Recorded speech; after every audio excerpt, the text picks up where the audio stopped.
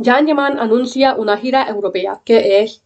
Jan Yaman está en Lisboa y anuncia que esta será la primera parada de una nueva gira para recaudar fondos con fines benéficos. Aquí están los detalles. Jan Yaman está en Lisboa y mientras recorre la capital europea descubriendo sus bellezas, anunció que esta será la primera parada de una gira europea.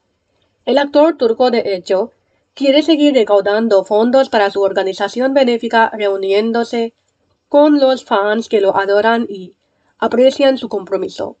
Así comentó en las redes sociales.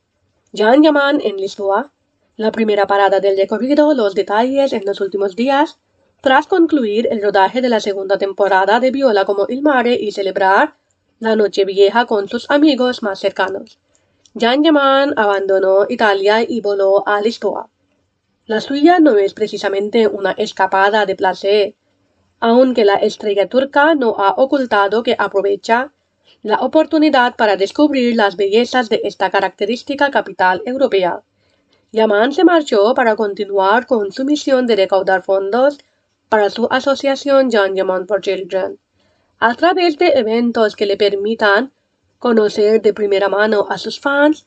Jan no ocultó que también quedó gratamente sorprendido por el cariño de los fans portugueses que conocen muy bien su serie de televisión y lo aprecian como actor y como persona.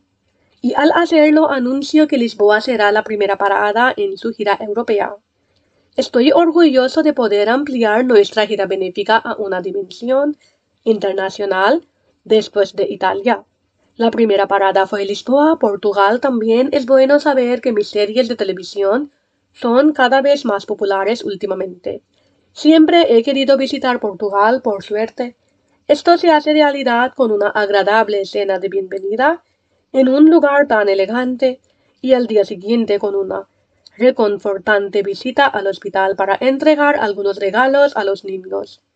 El compromiso de Jan es absolutamente recompensado, ya que el actor dedica su precioso y generoso tiempo libre a los pequeños pacientes de los departamentos de pediatría pero los admiradores se preguntan, ¿este compromiso provocará un nuevo retraso en el inicio del rodaje de Sandokan?